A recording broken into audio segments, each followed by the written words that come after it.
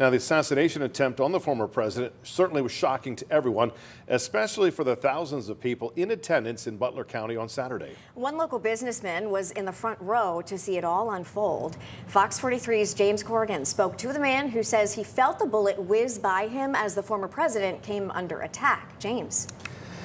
Yes, he did, Amy, and the ramifications of that attack are still being felt, as we've now seen. The thousands who were there in Butler County witnessed three people get shot and one killed, and they nearly witnessed the assassination of a former president. One business owner from Cumberland County saw it all with a literal front row seat.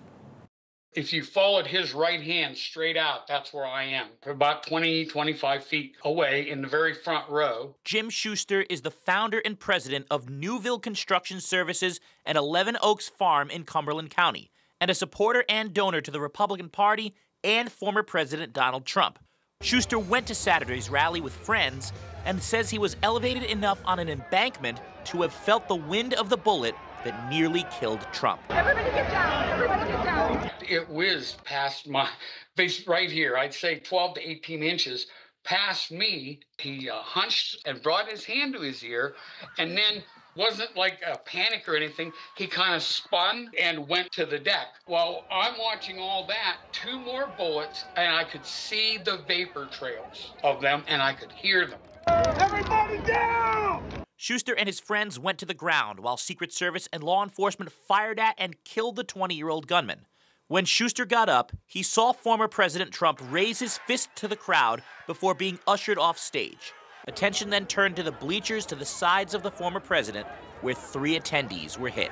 It was almost immediately they started CPR. In my one video, you can hear my friend Diane crying. Oh, it's a little boy there too. A child is there. One of the victims, 50 year old Corey Comperatore, died after shielding his family from the bullets. As the dust settles on the shooting, Shuster says it's time for everyone to take a step back and end the ongoing vitriol in American politics. Yeah, people need to learn respect for each other, for each other's feelings. If your hate of one man is greater than your love of this great country of ours, you are the problem, my friend. Now, Shuster joined the many people who questioned the security of the event. He said the roof where Crooks was on was visible to everyone and should have easily been secured.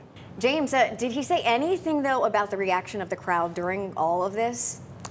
He did, Amy. He said the crowd was understandably scared, but that they were orderly when they left, no rushing or stampeding out. Of course, we saw the crowd cheering when the former president raised his fist, but of course, not everybody saw what was going on with the shooting victims next to the stage, Amy. Oh, unbelievable. All right. Thanks so much, James.